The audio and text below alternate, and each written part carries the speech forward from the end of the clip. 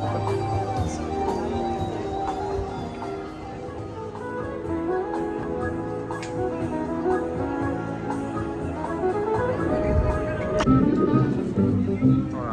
your name, sir? Uh, my name's Paddy, and I'm one of the three founders of Word on the Water, the London Book Barge.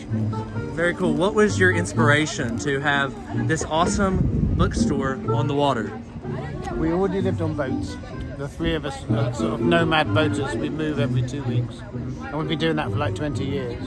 And we kind of wanted to be bargees. We wanted to never have to go to work somewhere that wasn't the canal, basically. Make our living on the canal as well as live on the canal. And the only thing we knew about was books, really. So uh, me and my friend John were going to do it on a little narrowboat together, just the two of us.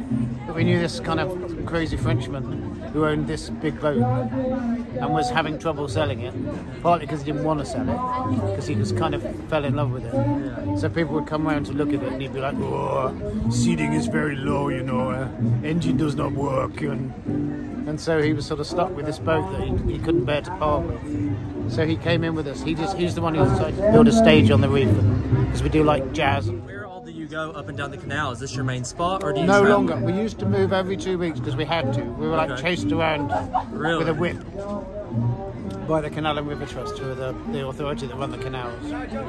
But we got this permanent home here about six years ago now, thanks to our followers actually, all writing emails. We were going to have to close because we bookshops need to stay in the same place, Yeah, and no one could ever find us. We were terribly fashionable, but we weren't Yeah. selling any books. yeah. Um, and so they all sort of wrote in and got us in the paper and on the telly. And at that point, Canal and River Trust offered us a permanent home here. And we didn't know this was about to be the Granary Square complex, like the yeah. new Covent Garden. And then that all opened around us, and now we feel like we're very lucky old men, really. Yeah.